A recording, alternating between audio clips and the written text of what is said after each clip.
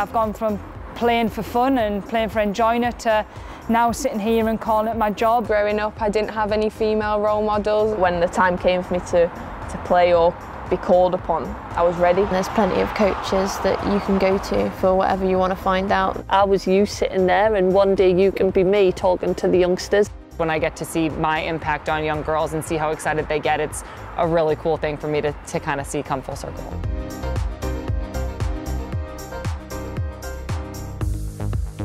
The standard and quality of the FA Women's Super League is as high as it's ever been.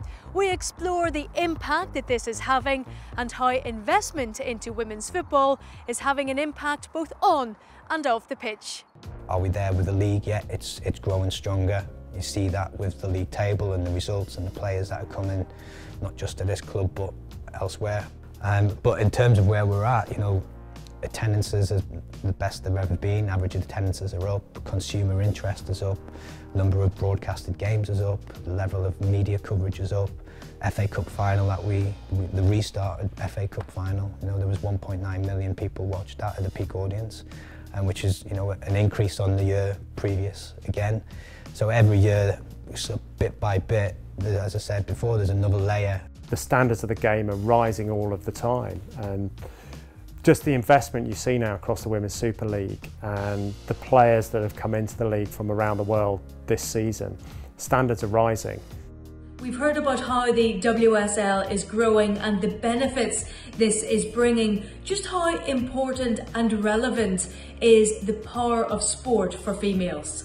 Girls and women who play sports have been found to have increased self esteem, a more positive body image, lower depression levels, and greater confidence. So, sport is integral and so important for girls and women. Soccer is such a unique and special tool um, and vehicle for people to express themselves and to um, be part of a team, which is so valuable. So, I'm just excited, and I think um, things are going great and can only go up from here.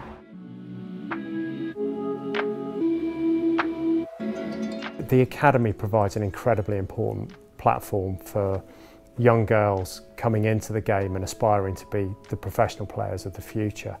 And that's something that I'm sure the likes of Steph Houghton, Jill Scott, Karen Bardsley look back on with some envious eyes compared to what it was like in their day. The access to these amazing facilities that we have is incredible and something that many of the senior players never had access to um, when they were sort of my age, so I'm very lucky to have come in at this time in women's football. The Etihad campus is a fantastic facility, meets every young developing player's needs as well as those of the most accomplished professional players in the game, men, women, kids. Just looked at it and thought like this is a place I'd love to come and learn, love to come and improve my football and, and be around the girls that were here now because there was the likes of the older players, the more senior players who are also in the England squad and like I wanted to be like them and I thought coming here was the best place to do that and obviously with the facilities the place we're in right now is it's incredible it's probably like one of the best if not the best in obviously the UK right now. To train every single day at facilities like this and to be coached and managed and to have the right medical treatment and to, the nutrition support. Your psychological development, your physical development, we've got so many staff who work in those areas, multiple physios who are just looking out for you and checking in on you all the time to make sure you're developing at the rate that you can do. The support network that the, the club has put together is incredible and it's likeable to that of the men's. I feel like physically um, and then even just tactically, like from a learning perspective, I have so much to utilize and um, it's such a great place to be um, just in that sense where like you really have everything that you could ever need and as long as you're utilizing it, there's no way that you couldn't get better. Our team get everything that any of a team would, would do from the boys academy to our men's team. It's, it's exactly the same in terms of the support, the resources, the expertise, the knowledge that sits within. Um, and I think that that's been beneficial obviously to the players and evident when you when you see them playing not just for their club but for their country. As a team we're really lucky and we know how fortunate we are that that we can ice bath day to day, we can use the cryo, we can use our gym, the men's gym. Um, obviously the food, breakfast, lunch, not many teams get that, so we are in a really privileged position and I think just for performance side of things we have everything to be able to perform at our optimal really. Girls now have that opportunity to just be full-time professionals, focus solely on football and I think you'll see the benefits of that in the standard of play and hopefully at international level with English players being better and having that environment from a younger age, hopefully we'll be able to push on on the international stage and sort of reap the benefits of these opportunities that we've been given and the facilities that people have access to now from such a young age. The great thing about the Etihad campus is it brings people together. It brings our best men and our best women together under one roof where they can support one another, they can watch each other train. You know, you sometimes see the men dropping in to watch a women's session or vice versa.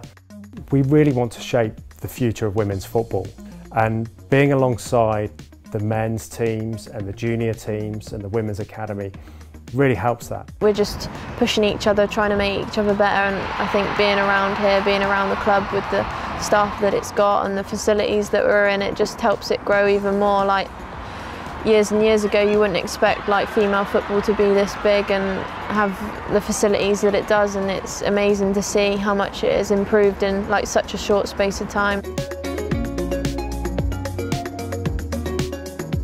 We've got to now focus on, on the Girls Academy and the pathway. I think that's an important piece for the women's game in general. We've created this pathway where if you think a, a young girl maybe uh, 10 years ago, maybe even five years ago, was pulling on a Manchester City shirt and, and would maybe put have a Sergio Aguero on the back because that, that dream of being able to become a professional footballer at, at Manchester City wasn't there. It, it was non-existent. But now a young girl can wake up for Christmas, get a Manchester City shirt, hopefully, and have Sam Mewis, Rose Lavelle, whichever player that you want to, you want to choose, on her name and have that tangible dream of actually I'm a 10 year old girl and I want to go and play for Manchester City. I always thought when I was younger that I'd just play for the men's team like I envisaged myself playing alongside Shaun Wright-Phillips and Richard Dunne because I never realised that there was an opportunity to, to be a female footballer or play in a women's team but now obviously it's so widespread and there are so many opportunities to become a professional. I think it's incredible for girls to be able to look up and see that they can have this as a job and they can have a career in the game and they can really achieve whatever they want to in football. We have such a good pathway through centre of excellences that we have here at the club to allow girls to be coached at a young age by good coaches but also it's the normal to have a girls girls football team at school. Man City was one of the first clubs to really focus on and invest heavily into its women's and girls academy structure and it, it provides the opportunity for girls to come in um, see a very clear route to the professional game, some, some simple, clear stepping stones that they can think, if I make this progress and I do well, there's the next step, there's the next one. And it makes the potential to be a professional player of the future and to play for Man City real for them.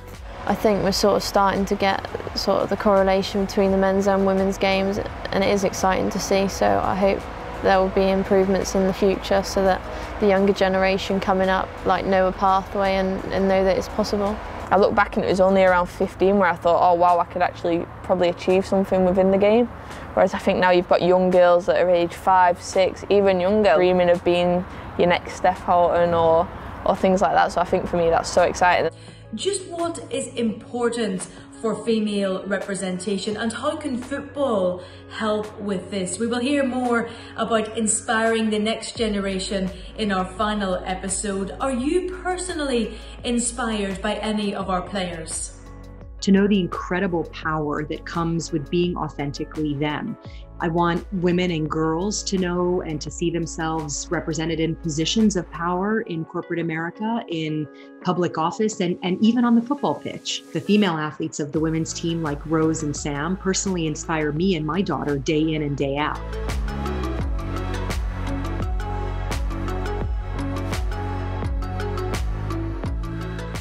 Our final episode, we will hear about the future of the sport, what is needed to support those future stars, whilst continuing to develop the current first team. We'll also hear about commercial growth within women's football and the opportunities this can bring to help raise visibility and continue to grow the sport. And finally, some of our very own players will offer their own advice to any young girl who dreams of one day becoming a big name in the women's game.